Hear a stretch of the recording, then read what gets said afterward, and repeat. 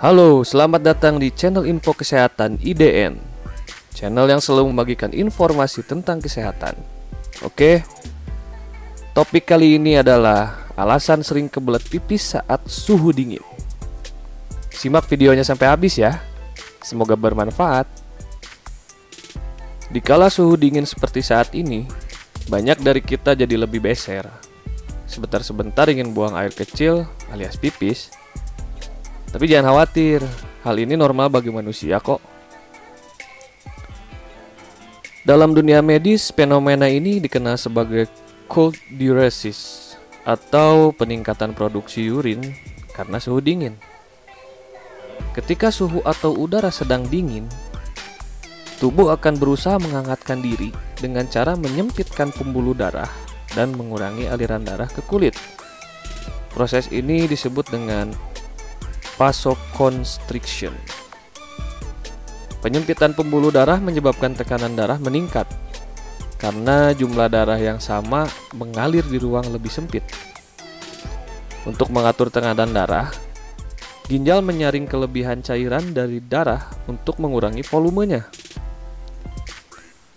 Nah, ketika kandung kemih sudah penuh cairan, tubuh akan mengirim sinyal untuk buang air kecil.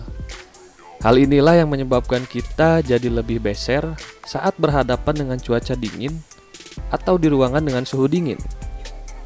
Faktor utama yang mempengaruhi proses vasoconstriction adalah usia, jenis kelamin, komposisi tubuh, diet, dan kegiatan fisik atau olahraga yang dilakukan. Proses ini juga tidak bisa disamakan untuk masing-masing orang, karena masing-masing orang mempunyai sistem tubuh yang berbeda-beda. Sebuah penelitian menunjukkan salah satu cara untuk mencegah cold diuresis adalah dengan cara berolahraga saat cuaca dingin. Itu akan mengurangi cairan tubuh melalui kulit atau berkeringat. Sebaliknya, saat musim panas, semua proses ini jadi kebalikan. Disebut vasolidatasi.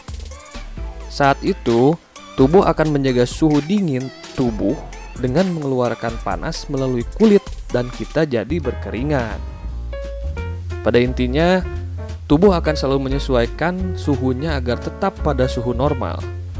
Ia akan secara alami memanas jika suhu dingin dan sebaliknya mendingin apabila cuaca panas.